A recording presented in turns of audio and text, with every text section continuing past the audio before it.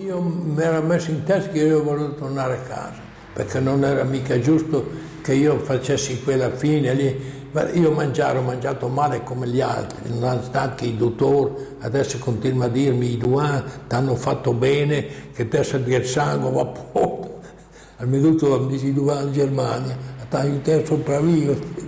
No, non, io non, non, è che facevo, non facevo niente, però non, mi sono mai preoccupato, non ho mai avuto il pensiero di non venire a casa. Io ci ho molato gli ultimi due o tre mesi.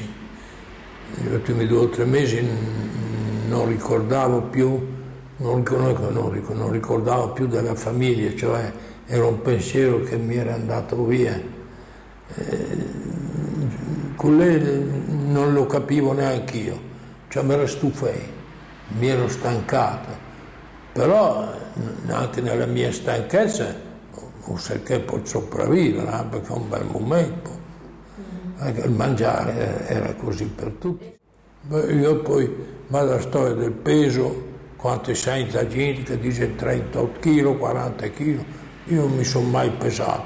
A so 50 kg, 55, mi so che era meglio. Però sono stato con la mia magrezza, è inutile che mettesse... Io ho visto la gente anche morire perché si, si trovavano male, piangevano, ma era poi anche gente che va a morire più.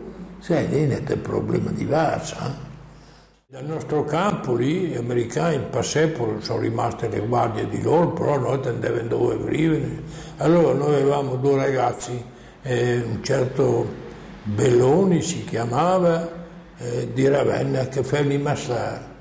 Allora ha cominciato a cattare dei vitelli, non mi era male, eh.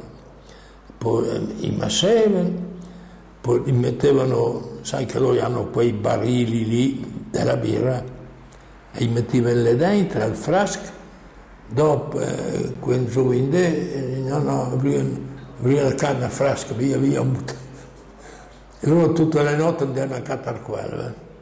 E dopo ci eravamo messi a posto col mangiare.